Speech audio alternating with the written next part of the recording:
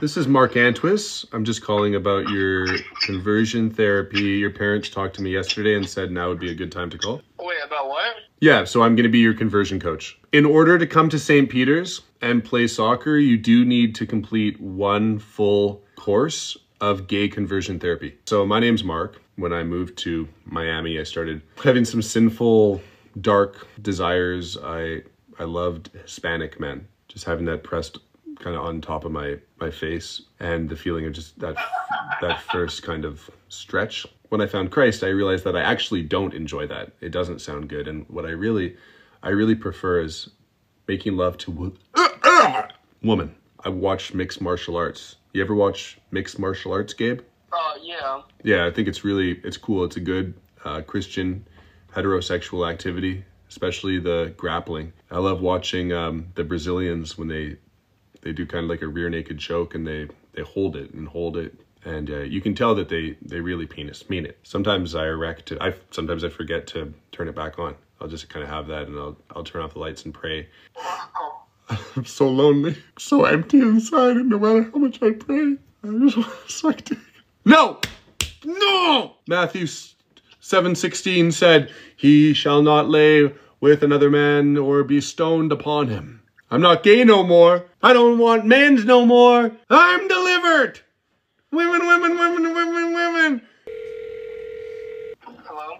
Hi, this is Christopher. I'm just calling for Gabe when we had one of our recruits call you and uh, seems like he just needed a bit of prayer in his life.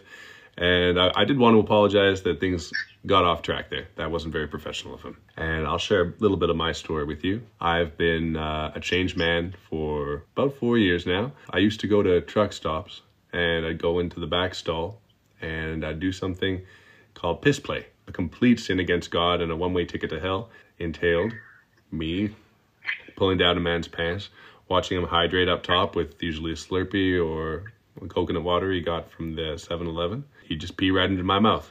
Getting on my knees in a different way at home, asking God to finally fix me. Just want to taste it again one time.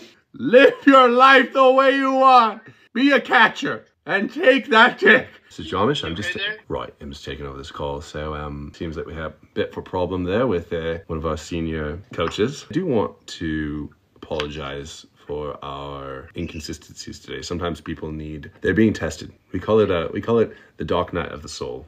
When those those nights when you you think that Satan's calling and he's telling you to do something that sounds delightful, right? I remember sometimes I would go to uh, go down to No, not, not again. Not again. Not again. We're not doing this again. Watch I Misty. don't need to hear no story. I don't need to hear. I don't want to hear any more stories. I'd enjoy myself and I'd think I'd Okay. never. Uh, I'm about. I'm about to hang up. I'm about to hang up. Oh. Who actually are you? Oh. Yeah, just Alex from TikTok.